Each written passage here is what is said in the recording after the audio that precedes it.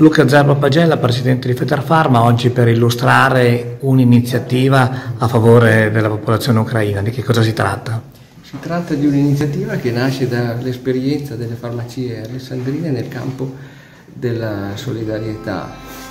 Eh, abbiamo, grazie all'azione eh, di promozione del distretto 2032 del, del Rotary, abbiamo messo assieme queste reti che da anni si occupano della raccolta per i farmaci per, eh, per i bisognosi, eh, per gli enti caritatevoli della nostra provincia e eh, abbiamo messo assieme eh, queste reti per venire incontro a questa nuova emergenza che è ecco. l'emergenza ecco, umanitaria della guerra. Di fatto io acquirente vado in farmacia e posso comprare farmaci che vengono ritirati dalla Croce Rossa, giusto? Farmaci senza obbligo di prescrizione che verranno eh, ritirati dai vari mandamenti della Croce Rossa eh, eh, locale e, oppure, fa, oppure, prodotti per la medicazione, prodotti articoli sanitari in genere. In genere. Le farmacie eh, rinunciano al loro guadagno donando il 30%, almeno il 30% del